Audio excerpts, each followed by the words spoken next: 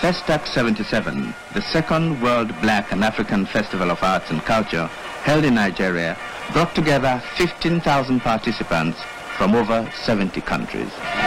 The National Theatre in Lagos was the scene of many important events throughout the festival.